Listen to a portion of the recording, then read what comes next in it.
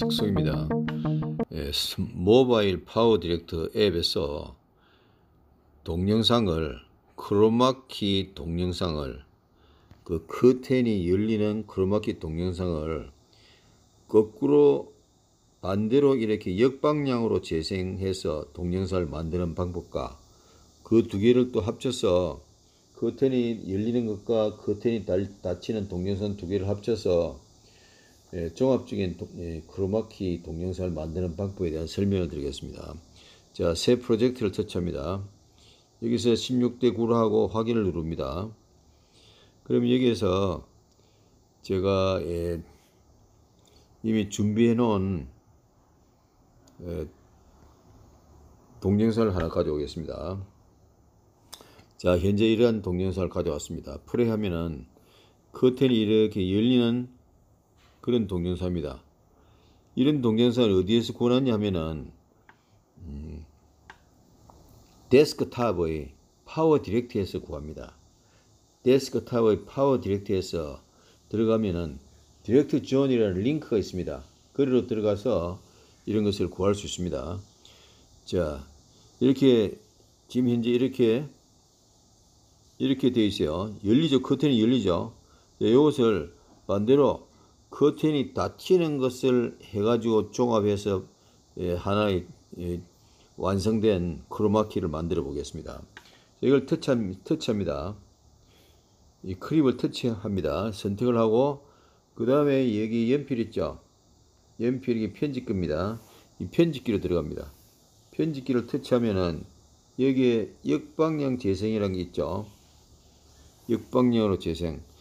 이것은 이 현재 모바일 파워 디렉트에만 있어요. 키네마스터에는 이러한 메뉴가 없습니다.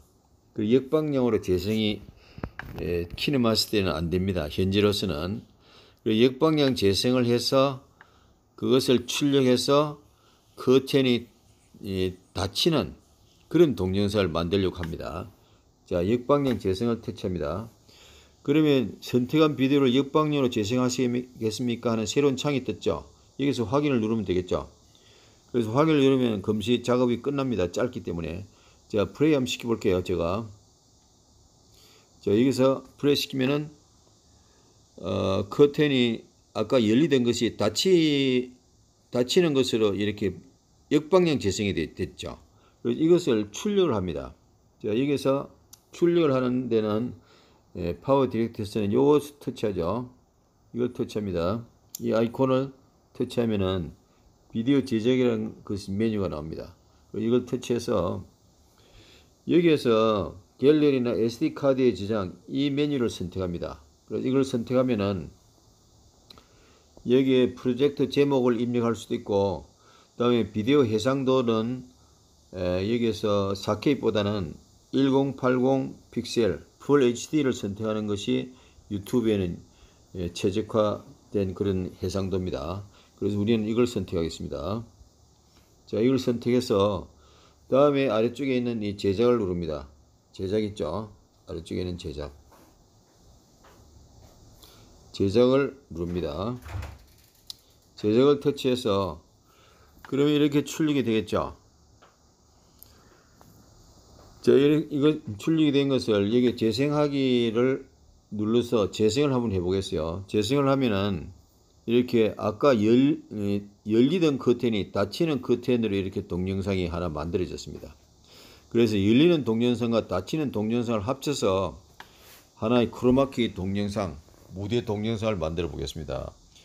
아, 여기서는 일단 이 파워 디렉터니까 여기서 빠져나갑니다. 이것은 현재 끝났으니까 모두 닫기 위해서 닫아버리, 닫아버리고 키네마스터로 들어가겠습니다. 에, 키네마스터 들어가서 새 프로젝트 있지 여기 이걸 터치합니다. 터치해서 16대 9로 하고요. 터치해서 어, 여기서 미디어 있죠. 여기서 미디어 있죠. 미디어 이것을 불러옵니다. 불러와서 자, 여기서 에, 아까 이 처음에 이 커튼이 열리는 것은 이것이었습니다. 이게 이것을 불러오고 다음에 뒤로 가서 우리가 이 닫히는 동영상 만들었죠. 이건 파워 디렉트에서 이 저장이 됩니다. 그래서 이 두 개를 불러왔습니다. 그리고 저장을 합니다. 자, 그러면 여기 플레이 시켜 볼게요. 처음에 이 커튼이 열리는 동영상이죠. 이것을 가지고 우리가 PowerDirector에서 자, 지금 나오는 커튼이 닫히는 동영상을 우리가 제작했죠. 그래서 이 두 개를 가지고 에, 완벽하게 중간에 이렇게 길게 처음에 커튼이 이렇게 열려서 열린 상태로 화면이 계속 있다가 다시 마지막에 가서 이상과 닫히는 이런 크로마키 동영상을 만들어 보겠습니다. 예, 자, 여기에서 이 부분 있죠. 후에 요 상태에서 요 터치를 딱 합니다. 앞에 것을 요 터치를 하고 다음에 요 아이콘을 터치합니다. 아이콘을 터치합니다. 터치해서 제일 위에 있는 playhead 위치의 프레임을 캡처하고 저장하기 있죠. 이걸 터치합니다. 그러면 이 부분이 캡처가 됐어요.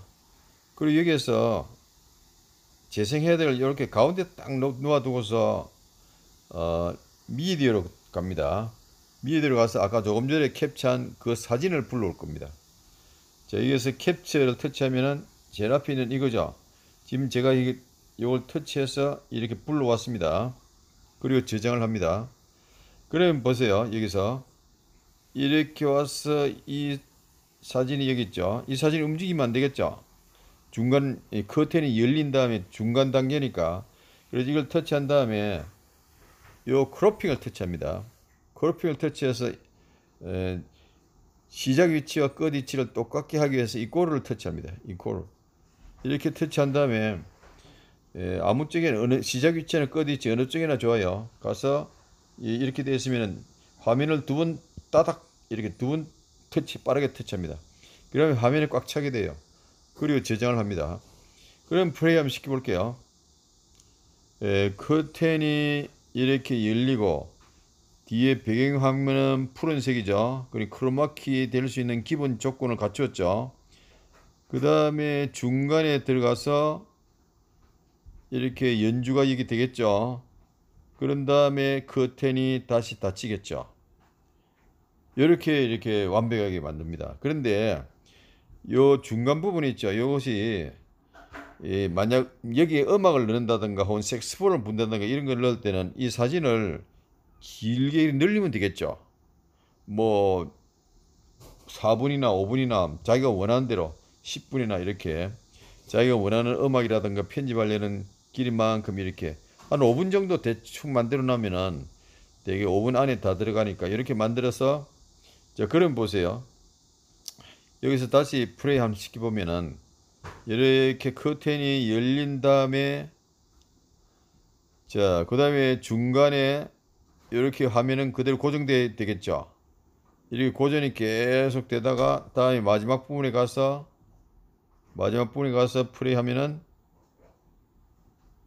이렇게 그 커튼이 닫히겠죠. 그래서 완벽하게 이렇게 예, 무대 커튼 어, 무대 커튼이 열리고 닫히는 크로마키를 이렇게 완벽하게 만들 수 있습니다. 그래서 길이는 사진을 이렇게 저 캡처해서 예, 가운데 넣어서 길이를 이 길이로 얼마든지 조정이 가능합니다. 이상 예, 커튼이 열리고 닫히는 크로마키를 자기 원하는 대로 만들 수 있는 방법에 대한 설명을 드렸습니다.